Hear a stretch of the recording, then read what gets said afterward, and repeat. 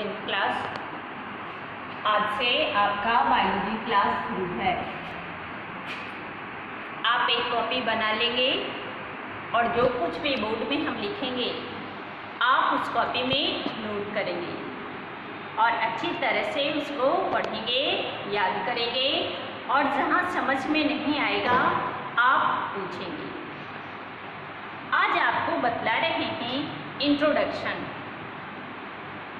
Biology को नीचे class से पढ़ते आए हैं। नाइन्थ क्लास में आपका बायोलॉजी बुक अलग हो गया होगा।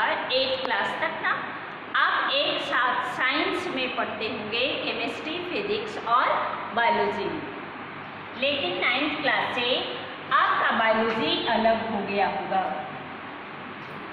ये बायोलॉजी का अर्थ क्या होता है? ये बायोलॉजी शब्द जो है वह दो वर्ड के मिलने से बना है। एक है बायोस, जिसका अर्थ होता है लाइफ और दूसरा है लोगोस। लोगोस से ही ना लॉजी शब्द बना है। लोगोस से ही इसकी उत्पत्ति हुई है। इसका अर्थ होता है, लॉजी मीन्स होता है टू स्टडी यानी जिसके, के द्वारा हम उसका अध्ययन करते हैं। हमने यहाँ लिखा है लोगोस डिस्कस उसके बारे में जानकारी प्राप्त करते हैं। ये हुआ बायोलॉजी अब बायोलॉजी को हम दो भाग में बांट दिए हैं। ये वास्तव में ना बायोलॉजी की दो शाखाएँ हैं। बायोलॉजी को हिंदी में बोलते हैं ना जीव विज्ञान। तो इसकी दो शाखाएँ हैं। एक है बॉटनी और दूसरा है जूलॉजी बॉटनी के अंतर्गत हम लोग यहाँ लिखें बॉटनी हर्ब्स यानी कि हर्ब्स का अर्थ हुआ शाकीय पौधा।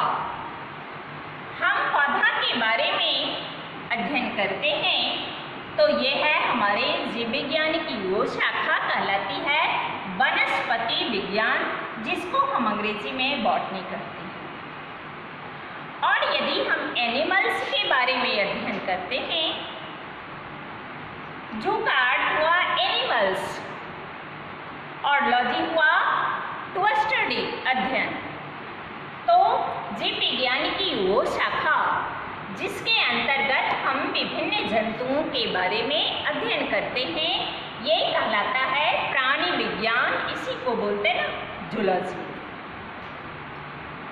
तो आपका बॉटनी और जूलॉजी पहले तो अलग था, लेकिन अब आपको एक साथ पढ़ना है।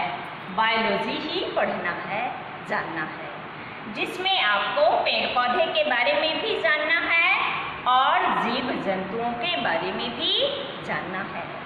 क्योंकि पौधे भी सजीव हैं और जंतु तो सजीव है। इसलिए दोनों के बारे में आपको जानना है